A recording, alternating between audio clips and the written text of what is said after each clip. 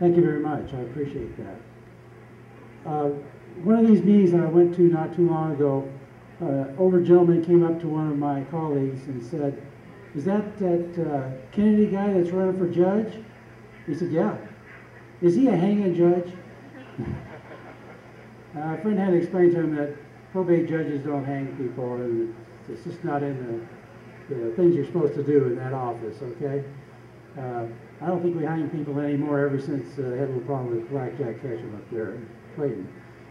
The, uh, I, I served as a, as a trust officer in a rural part of New Mexico, in eastern New Mexico, for uh, 19 years. And I handled estate after estate after estate with a lot of farmers, a lot of ranchers, local business people in, in the community, uh, and so forth.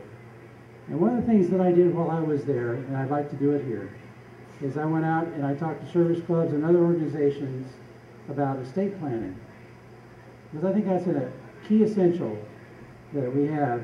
Uh, and we have the ability, I, if I, if I were elected and if I were to serve you, I would be glad to make time for you to come in and talk about your estate.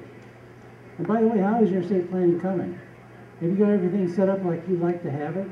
Will everything pass right down to your, uh, to your heirs just like you wanted to? Well, if the answer is no, this is a good time to get started and start thinking about it.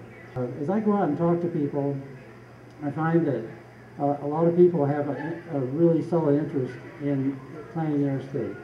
I'd like to be able to help in doing that and accomplishing that for people here and bringing that plan into being. Uh, the, the office is a is a interesting office. Uh, I asked a friend of mine who's an attorney. I said, "When did this thing get started anyway?" He said it goes back to the territorial days, and it was in the territorial uh, legislation, and carried over when we became a state. And I think it's the only state I've ever lived in, and I've lived in quite a few, that actually has a judge that concentrates only on one thing, and that's settling estates. And part of that responsibility to me means making sure things go exactly as you plan it to, to go.